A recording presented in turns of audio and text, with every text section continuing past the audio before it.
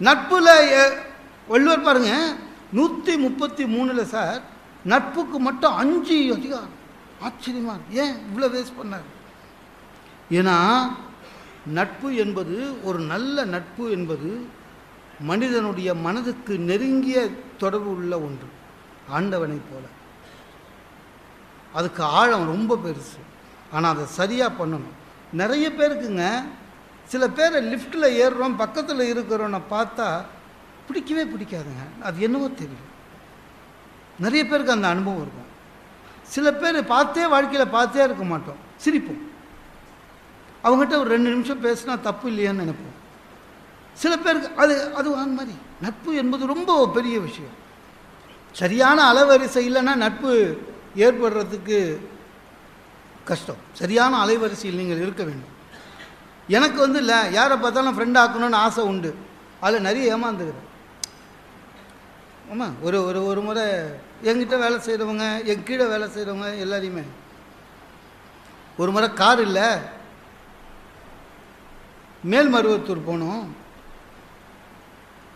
Taxi book பண்ணேன். ஒரு விடிய காலம் அஞ்சரைக்கு வந்தான். வந்தவன் அந்த டிரைவரை பார்த்த உடனே தெரிஞ்சிச்சு அவன் தூங்கலை.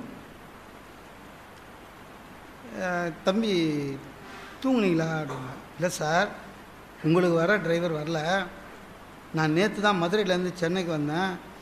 ஸோ உங்களுக்கு மிஸ் பண்ணக்கூடாதுன்னு என்னை அனுப்பிச்சிட்டாங்கன்னு சரி தூங்குனியான்னு. இல்லை சார் நான் அட்ஜஸ்ட் பண்ணிக்கிறேன் வாங்கலாம் அவன் அட்ஜஸ்ட் பண்ணிக்கிறேன்னு சொல்லிட்டான்.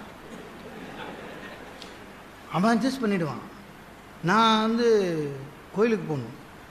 குடும்பத்தோட வேறு போகிறேன் பார்த்தேன். வேறு வழி இல்லை. அந்த நேரத்துக்கு காரை மாற்றிட்டு இருந்தால் இங்கே வேறு திட்டு விடும் ஒரு கார் புக் பண்ண கூட தெரில நீ எல்லாம் என்ன பேசுகிற ஊரில் போயின்னு.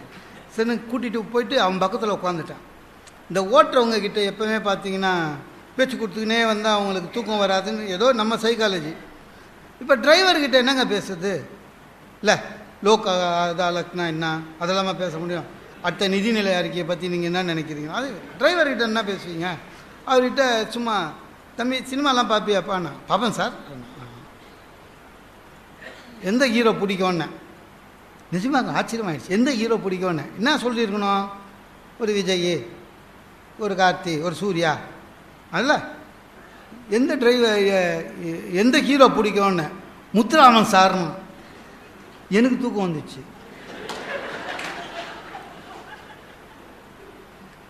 அப்புறம் கேட்டேன் நீ இந்த சம்பளம் வாங்கி அதே சம்பளத்தை அப்படியே ஒரு ரூபா கூட எடுக்காமல் ஒய்ஃபு கிட்ட கொடுப்பியான்னு? ஆமாம் சார் எப்படி தெரியும்னு. முத்துராமனை பிடிச்சிருக்குதுடா. நீ எந்த மரத்தில் ஒன்றாலும் மோது. உங்ககிட்ட நட்பாக இருக்க முடியாது. ஏன்னா நம்மக்கிட்ட இருக்கிற ஒரு குவாலிஃபிகேஷனும் அவங்ககிட்ட இல்லைங்க.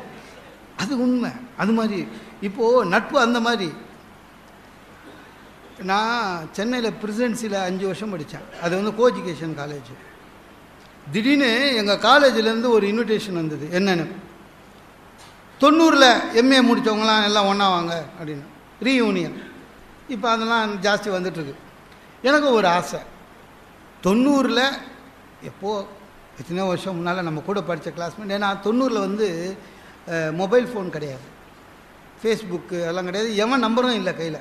சில பேர் என் கூட படித்தவங்க எவன் வீட்லேயும் ஃபோனே கிடையாது. என் வீடு உள்பட. அப்போ படிக்கும்பொழுது சரி பார்க்கலாம் அப்படின்ட்டு போனோம்.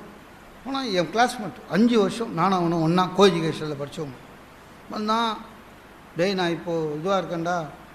டெப்டி கலெக்டர் அப்படி நான் ரொம்ப ஆச்சரியம் ப்ரொமோஷன்லேயே டெப்டி கலெக்டர் ஆகிடும் ரொம்ப ஆச்சரியம். ரொம்ப நல்லா இருந்தது. நீ என்னடா பண்ணுற உன்னை எப்போது பார்ப்பேன் அட்ரஸ் இல்லைடா எல்லாம் பேசினான் அது திருவள்ளிக்கேணியில் இருக்குதுங்க பிரசிடென்சி என் வீடு ராயப்பட்டா பக்கம்.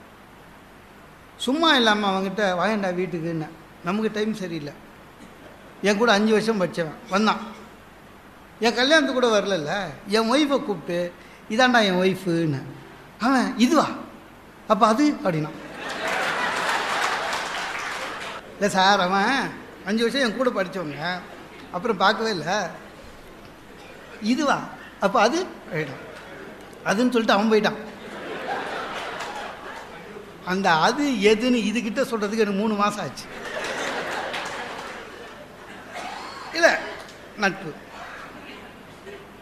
ஆனால் உறவுகளை வந்து நீங்கள் ஒரு மாதிரி துண்டிச்சிடலாம் தெரியுங்களா? துண்டிக்கணும். எல்லா உறவையும் எப்பவுமே கூடவே வச்சுட்டு இருக்கு. ஒரு நான் ஒரு வீடு கிரகப்பிரவேசம். ஒரு மத்தியத்தர குடும்பத்தில் இருக்கிறவனுக்கு அதுதானங்க பெரிய உச்சப்பட்ட சந்தோஷம். தொள்ளாயிரம் ஸ்கொயர் ஃபீட்டில் ஒரு வீடு கட்டி கிரகப்பிரவேசம்னு வச்சு என் சொந்தக்காரங்களை கூப்பிட்டேன். எங்கள் தாய் மாமா திருச்சியிலேருந்து வந்தார். விடிய காலம் நாலு மணி. வந்துட்டார். வந்துட்டு இங்கேயா வீடு வாங்கினேன் அப்படின்னாரு. நீ வாங்கினால தான் வந்தேன். விடிய காலம் நாலு மணி சார் வந்த முதல் கெஸ்ட்டே அவர் தான் ஒரு கேள்வி கேட்டார் பாருங்க. இங்கே ஏர்போர்ட் வருது இருக்கிற வீடெல்லாம் இடிக்க போகிறேன்னு படித்தேன் அப்படின்னாரு. என் வீட்டுக்கு வந்துட்டு கிரகப்பிரவேசத்துக்கு வந்துடுறான். ஏர்போர்ட் வருது எல்லா வீடையும் இடிக்க போகிறாங்கன்னு சொன்னால் என் ஒய்ஃபு இல்லைங்க இடிக்க மாட்டாங்க மாமான்னு. இருமா உனக்கு தெரியாது. அப்படின்னு அதுக்கிட்ட சண்டைக்கு போகிறாரு இல்லை வரப்போகுதுன்னு முன்னால் பேசியிருந்தாங்க. முப்பதாயிரம் வீடு இருக்கான். அதனால் இந்த ஏரியா இடிக்க வேணான்னு முடிவு பண்ணிட்டாங்கன்னு என் ஒய்ஃப் சொல்கிறான் அதுக்கு இருந்தாலும் பதில் சொல்கிறாரு உனக்கு ரொம்ப தெரியுமா? டெல்லியில் ஒரே நாள் நாலாயிரம் கடை புல்டோசர் வச்சு இடிச்சாங்க அதாவது என் வீட்டை இடிக்காமல் போகிறதுலன்னு முடிவோட சார். மாமா. இவரே கோர்ட்டுக்கு போய் எனக்கு அங்கே தான் ஏர்போர்ட் வரணும்னு பொதுநல வழக்கு போட்டாலும் ஆச்சரியப்படுறதுக்கு இல்லை. ஏன்னா நான் தொள்ளாயிரம் ஸ்கொயர் ஃபீட்டில் வீடு வாங்கிட்டேன். இப்போ நம்மள கூட நிறைய பேருக்குங்க இந்த டீ கலந்த டீ குடிச்சிடுவோம் இந்த பேக்கெட் டீ டிப் டீ அது நிறைய பேருக்கு நம்மள குடிக்க தெரியாது. எங்கள் சொந்தக்காருக்கு யாருக்கும் தெரியாது. அந்த பாலில் டீ பேக்கு போட்டு எங்கள் மாமாவுக்கு தெரியவே தெரியாதுன்னு எனக்கு தெரியும்.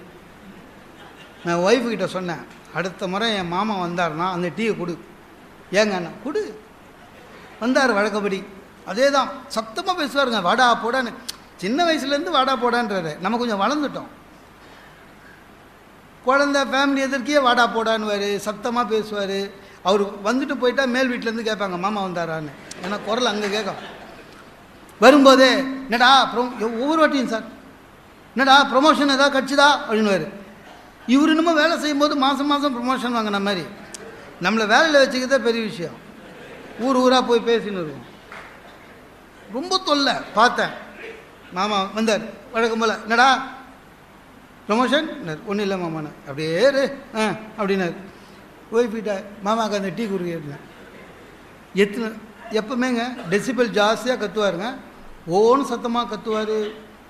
தேவையில்லாததை பேசுவார். வாடா போடான்வார் அந்த டீ எடுத்துன்னு வந்து வச்சா பால் பேகு. அடங்கிட்டார் அப்படியே.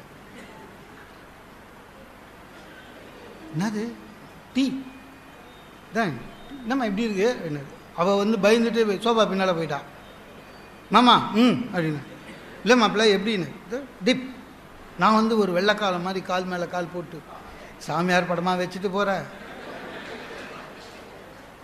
அவர் அவருக்கு என்ன பண்ணுறது தெரிலங்க நல்லா தெரியுது நர்வஸ் ஆகிட்டார் வேத்துச்சு அவருக்கு. வேத்துச்சு நடுங்குது. அசிங்கமாயிட போதுன்னு மனசில் நினைக்கிறாரு. அது இப்படி எடுத்துட்டாரு. கீழேயும் விட முடியல. இப்படி இது நான் மாமா ம் அப்படின்னு டிக்கி டிக்கி டிக்கிட்டு இந்த கார்பரேஷன் பம்ப் அடிக்கிற மாதிரி டக்கு டக்கு டக்கு டக்குன்னு. இப்போ நம்ம வாங்குற டீ பேக்கெல்லாம் மட்டமானது தெரியுமா விலை? ஆனால் ரொம்ப ஆச்சுன்னா கிழிஞ்சிரும் உள்ளியா. அடிச்சுட்டு எடுத்து அவருக்கு அவர் வீடாக தான் எடுத்து தூக்கி போட்டு குச்சிடுவாருங்க. இன்னொருத்தர் வீடா? அவருக்கு அதை எடுத்து என்ன பண்ணுறதுன்னு தெரியல. டென்ஷன் ஆகுறாரு. பத்து நிமிஷம் ஆச்சு பேசி அவர். அப்படியே ஊற்றுது தள்ளி. முடியறதுலேருந்துலாம் தண்ணி தலையிலேருந்துலாம் தண்ணி ஒழுகுது. ஆ அப்புறம் இப்படி இப்படின்னாரு. அப்புறம் என்ன பண்ணாரு? அதை அப்படி வச்சுட்டார் எது? அந்த முனையை வச்சுட்டு இப்படின்னாரு. அந்த பேக் உதட்டுக்கிட்ட வந்துடுச்சு இவர் அப்படியும் அந்த பே- அந்த பேகுக்கும் அந்த டம்ளர் விளிம்புக்கும் நடுவில் கொஞ்சம் கேப்பு ஊறிறார் வரல. வச்சுட்டார். வச்சுட்டு மாப்பிள்ள நான் டீ குடிக்கிறதை நிறுத்தி ரெண்டு வருஷம் ஆச்சு. ஏதோ நீ சொன்னியான்னு குடிக்கிறேன்னு சொல்லிட்டு அன்றைக்கி போனவர் தான். முனையில் டீ குடிச்சுட்டு வீட்டுக்கு போயிட்டார். இதுவரையும் வரல. நல்லா இருக்காரு ஆனால் பாவம்.